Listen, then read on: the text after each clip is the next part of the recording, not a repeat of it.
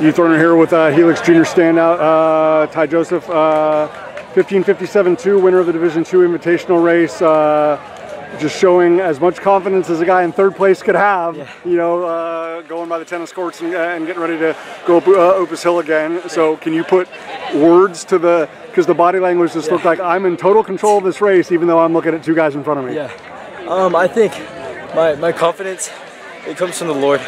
So I I really just laid my heart out to him and I was like, Lord, I I feel bad.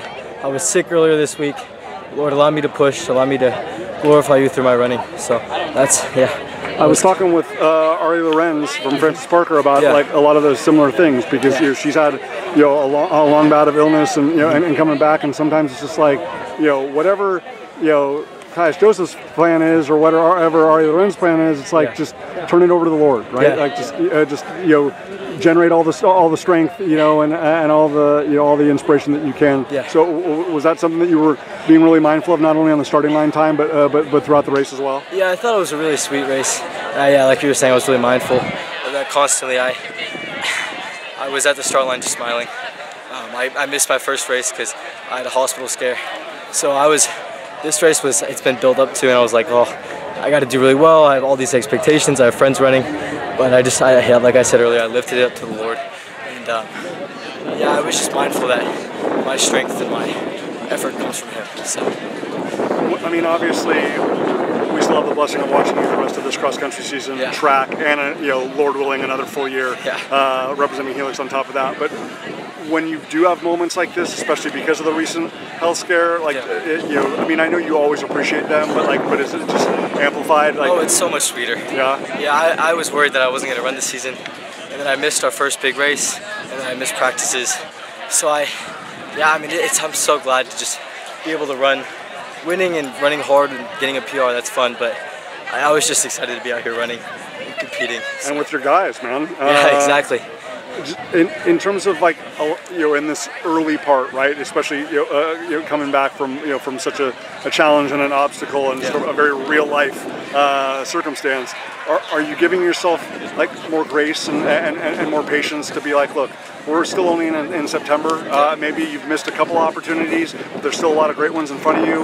Obviously, the biggest one being back here in November. Yeah. You know, so I mean, are you just you know really trusting in the process, trusting in the Lord, and just being patient? Yeah, I would say 100%. I think um, when I originally got in the hospital and missed all the practices and had the scare about tumor and all that, it was um, and my first thought was I just gotta push, I gotta go, I gotta go, I gotta go. Um, and then my coach and then my parents had, had really good input, just like, no, this is the start of the season, you missed one race. So I thought, yeah, I, I think I had to just kind of trust the process and be like, it might be a slow season, it might not be what I want it to be, but it's all I can do.